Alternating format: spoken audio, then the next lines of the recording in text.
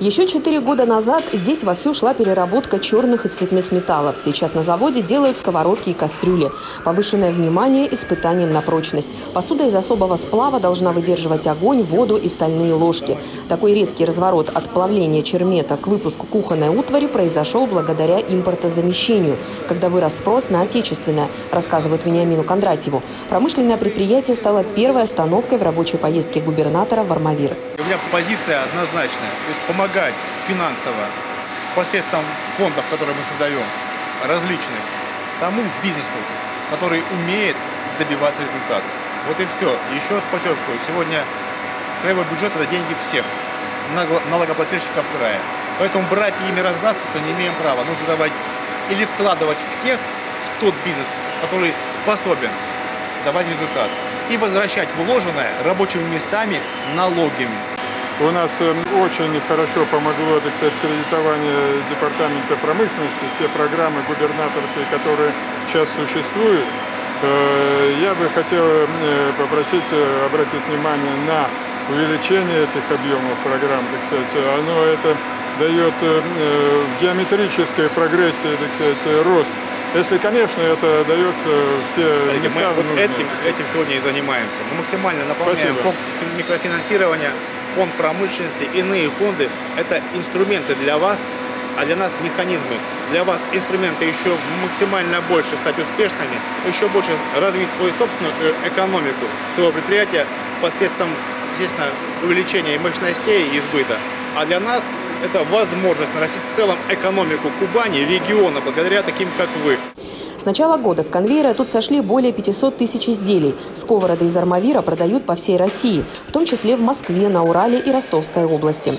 Сырье для посуды получают здесь же. Старые автомобильные диски возвращают в народное хозяйство через эту печь. Полный цикл производства позволяет снизить цену, не потеряв в качестве, и быть заводу более гибким в своем модельном ряду. Почему мы говорим про малый и средний бизнес? Пока они сегодня средние. Они очень быстро, быстро откликаются на спрос которые есть на рынке. И быстро его творяют. Возник запрос на блинницы. У них блинницы. На чугунки, у них чугунки, у них сковородки разных размеров. У них ассортимент. А это сегодня главное преимущество малого и среднего бизнеса. Максимально быстро отвлекаться на спрос рынка. И вот сегодня в этом для нас приоритет малый и средний бизнес. За счет льготных кредитов по региональной программе развития промышленности здесь планируют вдвое увеличить объемы производства. Дешевые займы, как глоток свежего воздуха и на другом предприятии. На мебельной фабрике начали строить новый цех и склад. Компания входит в пятерку ведущих в России по выпуску столешниц. Высокоточное оборудование позволяет выполнять сложнейшие задачи. Оборудование, которое производит весь комплекс работ, от фрезеровки до пасформирования, нанесения клеевой основы и капли отбойника. Полностью она производит всю линейку. Завод является не только изготовителем кухонь, столешниц и стеновых панелей, но и своего рода донором для других предприятий, рассказывают главе региона. Из армавирских комплектующих на сторонних производствах выпускают уже собственную мебель. Изделия фабрики можно встретить и в новостройках по всей Кубани. Было бы неплохо, если компания вышла бы на полный цикл производства, заметил губернатор. Краевые власти готовы в этом помочь. Если он является сателлитом у строительного бизнеса, то почему бы у него в крае не появился тоже сателлит, который максимально для него делает ДСП? И иные комплектующие. И если мы это все постараемся увязать в один комплекс, то есть мы максимально выиграем. Мы находимся на территории практически завода ДСП, которая производилась в Советском Союзе в городе Армавир. И он здесь тоже оказался не просто так с этой продукцией. Давайте посчитаем. Если есть возможность, есть экономика в том, чтобы он сам для себя производил ДСП для да, собственных нужд, а может быть и э, в целом шагет на рынок, да. то этим нужно воспользоваться. А самое главное, еще раз подчеркну, вот для меня важно понимать, э, что его продукция, спрос зависит от покупательской способности и на жилье, и на квартиры. Да. Ну, естественно, и, как следствие, на кухне. Еще одно место, куда губернатор отправился во время рабочего визита – новый спортивный центр. Он открылся меньше месяца назад. Построить зал для подготовки гимнастов Вениамина Кондратьева в прошлом году просили армавирские спортсмены. Сейчас здесь занимаются больше 200 детей. Вениамин Кондратьев пообщался с ребятами и узнал, все ли им здесь нравится. Вы, наверное, с удовольствием здесь, я уверен, занимаетесь. Вам нравится заниматься? Да! Вы знаете, а вот вы, когда школа заканчивается, уроки, вы с радостью бежите сюда? Да. Это самое главное. Знаете, когда есть огромное желание заниматься тем, что тебе нравится, то, что ты любишь, тогда на самом деле в жизни получаются большие результаты. Неважно, станете ли вы олимпийскими чемпионами, призерами различных, различного уровня соревнований. Вы уже будете хорошими людьми. Потому что вот ощущение, ощущение того, что вы нужны, нужны, должно быть не на словах, а на деле. А вы нам нужны, вот такие девчонки и мальчишки. И мы создаем условия, все, все условия, насколько вот сегодня максимально стараемся, что вы этими успешными стали.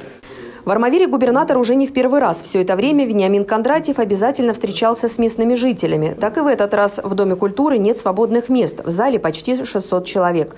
Для людей это возможность напрямую задать вопросы главе региона. Наболевшая проблема – расширения существующего онкологического диспансера. Несколько лет назад для этого в краевую собственность передали здание бывшей железнодорожной больницы. Но никаких работ так и не начали. Если это развалится, то мы никогда тогда полноценную онкологию здесь не восстановим. Проблема действительно актуальна. Я думаю, Вениамин Иванович, без вашего принятия, без принятия решения вами лично, вряд ли мы эту проблему как-то осилим. Ну, то, что проблема есть, я услышал. И то, что ее надо решать, это безусловно, как и в Краснодаре тоже. То есть мы сегодня, слава богу, приступили к проектированию нового краевого онкологического центра, современнейшего. Теперь, что касается Армавира, вот это, этого здания. То есть здесь нужно нам понимать, глава говорит, его надо сносить. Кто-то говорит, да нет, зачем его сносить, его нужно отремонтировать.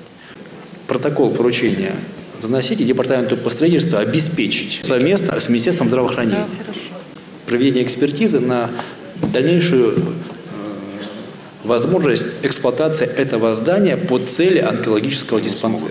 И дальше мы будем понимать, если это здание, к сожалению, уже все, время ушло, как говорится, ну, коллеги, это надо признать, время ушло, но решение должно быть. Много вопросов из зала про создание новых производственных мощностей. Армавир, по сути, промышленный центр Кубани. И для дальнейшего развития городу нужны свободные территории.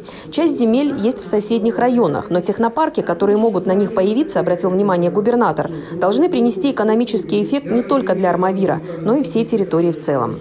Создание технопарков – это было бы очень оптимально. Есть э, территории Новокубанского Успенского района, которые приграничены с нами, которые могли бы идеально войти в структуру урбанизации города Армавира и дать как промышленное развитие, как социальное развитие. Это, конечно, не в ущерб нашим соседям. Для них это тоже было бы удобно. Что касается территории, вы говорите, промзона, которая находится сейчас для вас выгодно, но на территории Успенского района. Давайте совместно рассмотрим вопрос с Успенским районом, чтобы была совместная промышленная, мощная, индустриальная зона и Армавира, и Успенки. Хватит и вам, и им. Главное, чтобы она была без всяких ограничений, с очень серьезной инфраструктурой, а даже вот с инфраструктурой мы вам поможем. Подобные амбициозные проекты, конечно, невозможны без развития инфраструктуры, в частности дорог. К тому же много обращений жителей Армавира касаются жилищно-коммунального хозяйства. Дорожный фонд Краснодарского края в этом году составил практически 35 миллиардов рублей. Вениамин Кондратьев посоветовал не экономить на магистралях одного из крупнейших городов региона. Дороги Армавира. То есть если мы выделяем, по большому счету, в этом году 10 миллиардов рублей на муниципальное образование, то э, в прошлом году, мне важно, и в этом году, сколько было выделено Армавиру? 179 в прошлом, 100 в этом.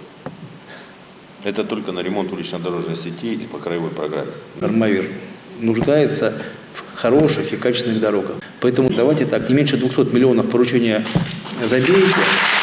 Друзья, не надо хлопать, это, это минимум. А чтобы дороги были хорошие, нужен максимум. А вот максимум будем смотреть по финансовым результатам года. По финансовым результатам года.